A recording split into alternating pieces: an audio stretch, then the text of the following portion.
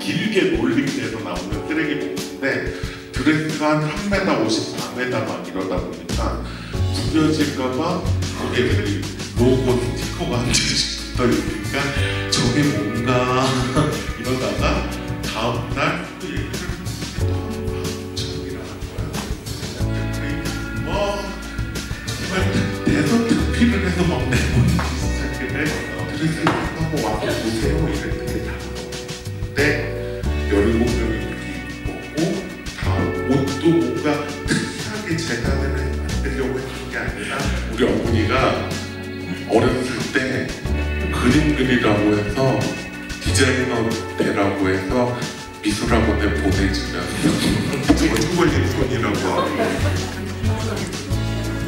가끔 술, 마, 술 마시기 술 마시기 TV 보기? 나도 그렇고 취미라고 치는데 돌아다니는 걸 좋아, 좋아하는데 돌아다닐 시간이 없어서 지금 많이 돌아다닌다. 또 에이씨 막 화내다가 옆에서 또 옆에서 끼면 나 잡았어.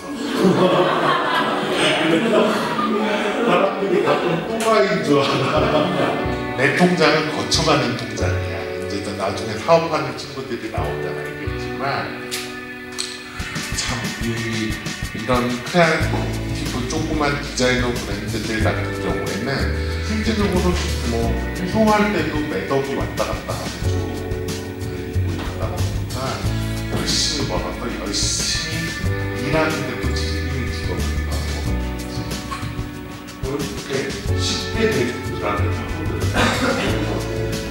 なみたいな。